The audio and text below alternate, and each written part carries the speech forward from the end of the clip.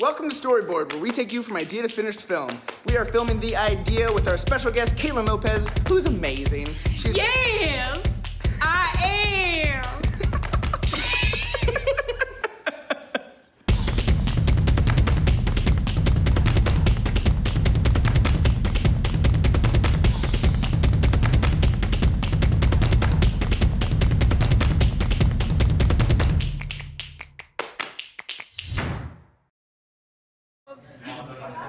you can talk every way you want to. We're what gonna talk happening? a different way. Oh, what? Are so now we're gonna talk like this? If I want to talk, is like that what's happening? Talk, I can talk whichever hey, way I want. Hey, hey, hey, hey, hey, Thanks for being on the episode, Caitlin. There's something called the Dunning Kruger effect. And the Dunning-Kruger effect is that thing where you have somebody who is not an expert in any way in a certain field, but believes by virtue of their own belief and their own minor skills that they are. People watch singing television shows where people compete, and somebody goes on and they think they're fantastic. They're tone deaf. They can't match pitch to save their life but they believe more than anything that they deserve to be on that show, that they deserve to get all of the accolades without any training. It's a hard balance to strike. There is the the balance of I know that I may have talent in this area. I need to own up to it. I need to own it.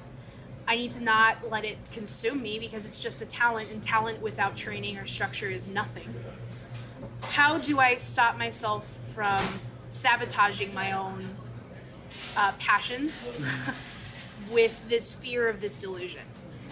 Uh, I think that one reason it took me so long to get to this point and start really pursuing my passion was because of that fear.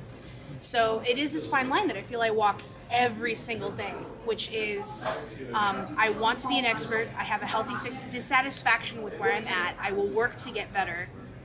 Uh, but I need to not fear the fact that I may be on the right road to becoming an expert one day.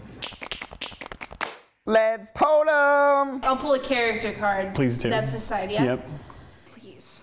We're in this together, right? What are you? What are you pleasing for? what is like? What constitutes? Uh, This could- card, you guys. What constitutes a good one? you you guys, conflict. you might have to keep that mustache. I told you. I am growing this facial hair legitimately because if I have to have facial hair in the show, it takes me a long time to grow facial hair. Hitchhiker picker upper. is in conflict with pig. Over blood. I mean, this seems like a really straightforward thing. I think so. Uh, to me, it's definitely a serial killer pulled over by a cop. Oh. The pig. Yeah. Uh, and the conflict over blood is the fact that their car is Covered, covered in in blood. blood. I actually really like that. I mean, it's very straightforward. I mean, here's the thing. Uh, I am not so secretly uh, a fan of true crime. It could be comedic. It could be easily comedic. Absolutely. It could also be absolutely terrifying. Right. Uh, I think if it is more of a sincere take or is kind of true crimey, I would imagine that the person driving the car somehow like doesn't think they did it. Like a moment where like they get to like what is because the blood all over their car is so obvious, like such a pinpoint. Yeah. That like they couldn't pull them over and be like, no, I didn't do it, officer. I mean, you could be comedic and have just blood all over the car, um, but I feel like it would be fairly short and it would be hard not to become really sketchy. The less blood, the less comedic it is, and it doesn't have to be covered in blood. It doesn't say blood everywhere. I know it has this secondary character, and we're saying I said police because pig is, you know. It's great. Um, It's great. but it could also be an internal conflict of whether to go to the police or what who to contact or what to do with the little information you have. If it is someone who has been in a situation where they've, you know, woken up, for example, looked around and there's like, you know, their hands got blood on it or mm-hmm. something. And it's trying to piece together what's gone on. That's something that I think a rational person would be like, I need to get the police involved or something needs to happen. Right. At the same time, what if I did something and I don't know about it?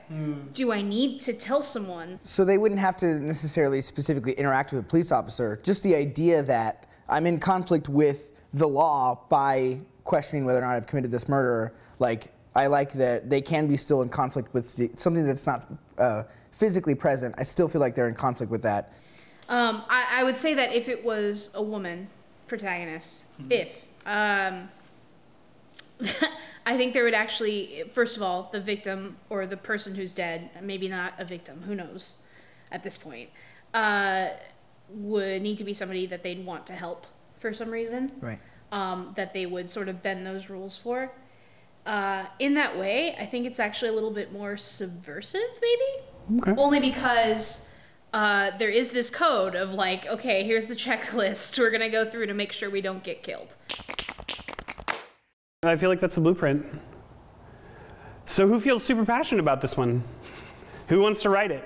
I mean, I I would love to to try my hand at writing it. Dude, I think that would be awesome. Having written mostly for theater, it's this will also be an interesting. What's great is it's a one location thing. Yeah. I've been so it's actually really similar to Right. what I find really interesting with this is that so much of it is going to be nonverbal.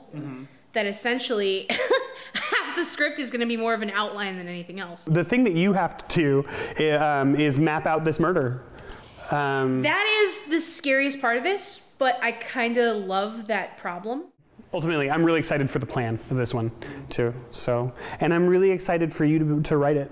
I'm Uh, like so excited for that. here. I'm really excited. Thank you so much.